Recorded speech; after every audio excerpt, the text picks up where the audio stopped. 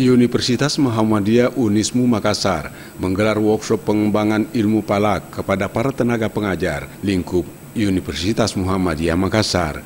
Wakil Rektor 4 Universitas Muhammadiyah, Salemullah mengatakan, pembelajaran ilmu palak diharapkan dapat menjadi salah satu model keunggulan pada Universitas Muhammadiyah, apalagi kampus ini salah satu perguruan tinggi Muhammadiyah yang menekankan pentingnya ilmu agama dalam pendidikan dunia perguruan tinggi.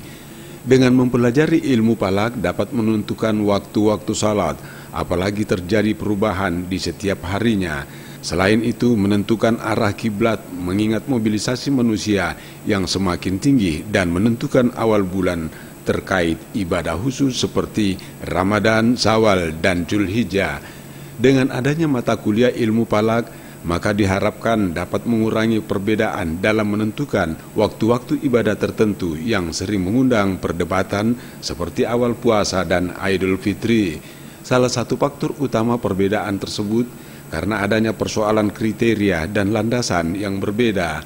Karena itu, workshop pengembangan ilmu palak Universitas Muhammadiyah Makassar bertujuan untuk mempertegas kembali dengan memberikan pengetahuan secara mendalam dan profesional kepada para tenaga pengajar agar mereka juga dapat menyampaikan kepada mahasiswa terkait ilmu palak secara profesional pula. Nah di sinilah ini juga hal yang perlu di, di, dipermalumkan kepada para dosen Islam ke Muhammadiyah ini supaya dia bisa mencerahkan eh, mahasiswanya khususnya dan eh, masyarakat pada umumnya. Kenapa? Karena perkembangan teknologi ini akan lebih jelas lagi.